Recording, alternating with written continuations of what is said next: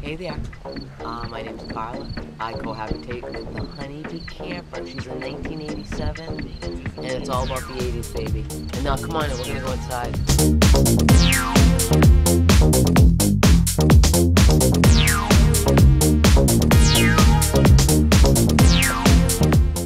Hi, folks. Here we are. Here we are at the Honeybee. Sometimes when you don't want to do dishes, this is what you do. Check this out, kids. Look at this. Look at this. The oven, I don't think has ever been used. I mean, have a peek at that. So this is basically a storage unit. Yes, Right. of course.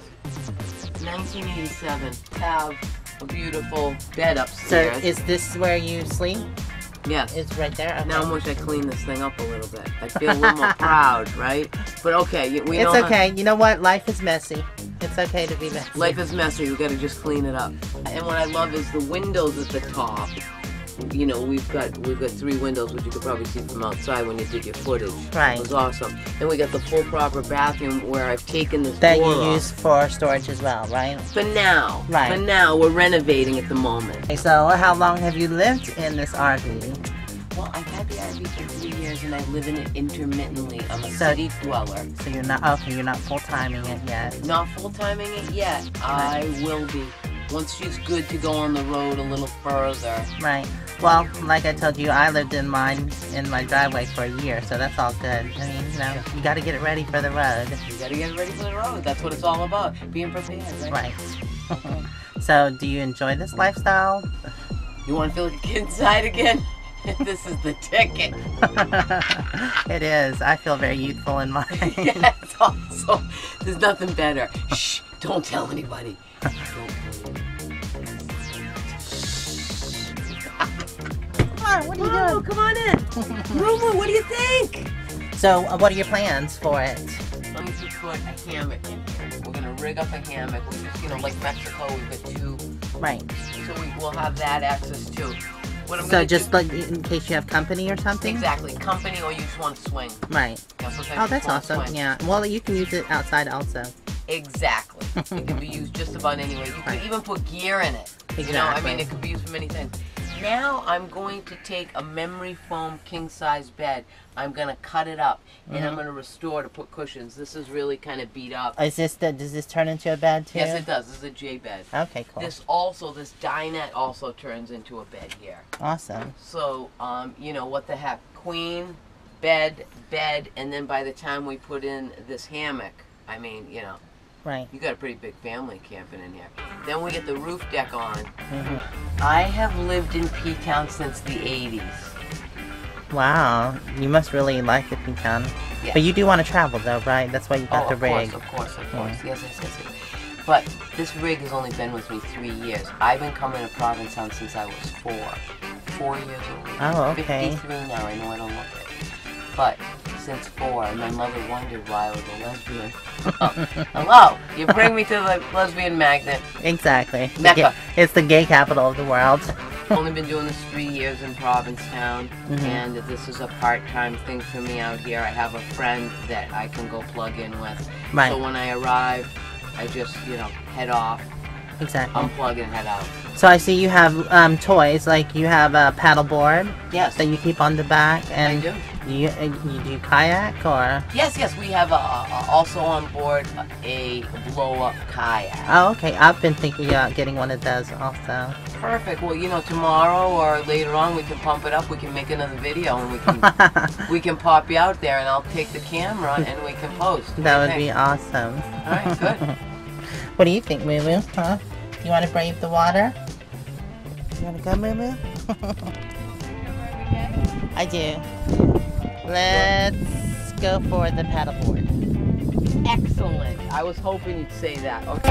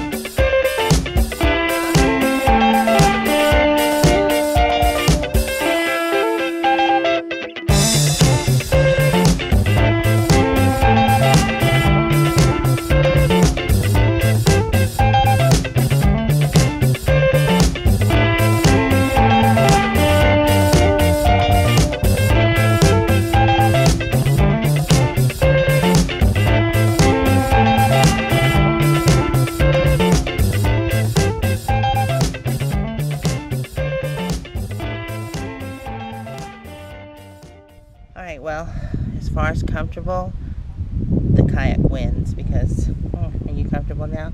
It's just a lot more comfortable. I guess if you were standing up on the paddleboard, it would be comfortable, but when I was kneeling down, my legs started to hurt.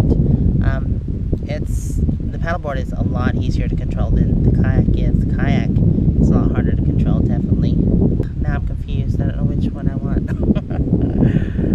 the paddleboard, it's easy control, it's easy to get on, and it's it's good in shallow waters. The kayak, not so good in shallow waters not so easy to control, but it's really comfortable just to just relax. So.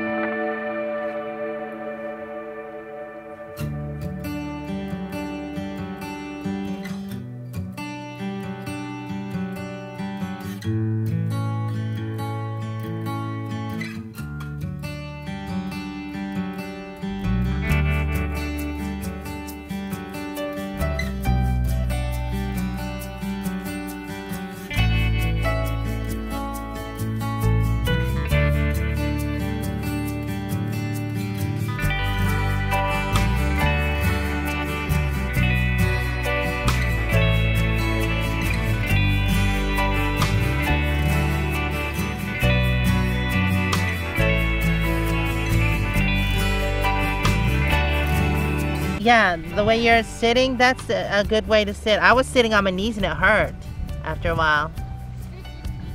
Yeah, it is.